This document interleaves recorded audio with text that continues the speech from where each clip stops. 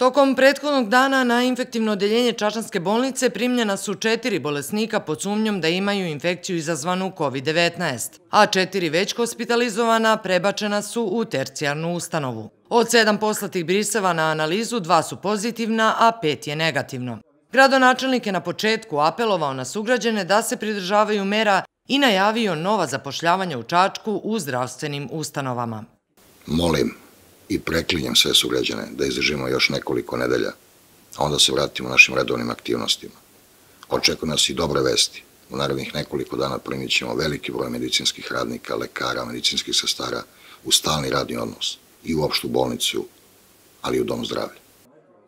On je trenutnu situaciju u našem gradu nakon sastanka sa stručnim timom ocenio kao prilično mirnu.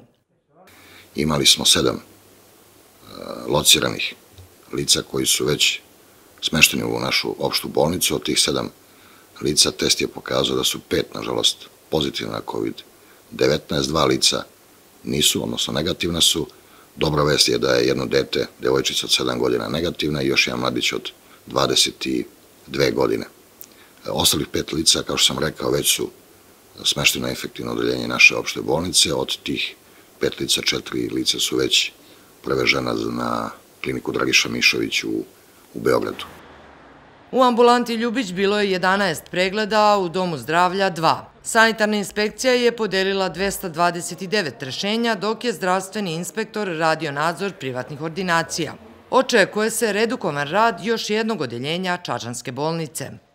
U toku dana će biti urađen epidemiološki nadzor nad osobljem hirurgije, i to je treća služba bolnička koja će raditi verovatno u redukovan sastav u naredno vreme. Da podsjetim, trenutno redukovano radi ortopedija i e, laboratorijska služba bolnice, a evo, hirurgija je ovaj, treća služba koja će zbog mera protiv epidemijskih e, verovatno da e, smanji svoje kapacitete. Apotekarska služba ima dovoljno zaštitne opreme, rečeno je na sastanku, a Republički fond zdravstvenog osiguranja konstatovao je da je snabdevanje zaštitnom opremom normalizovano. Na sastanku je rečeno da je veoma ohrabrujući podatak to što je inspektor rada izvestio da do sada ni jedno lice u Moravičkom okrugu nije otpušteno sa posla.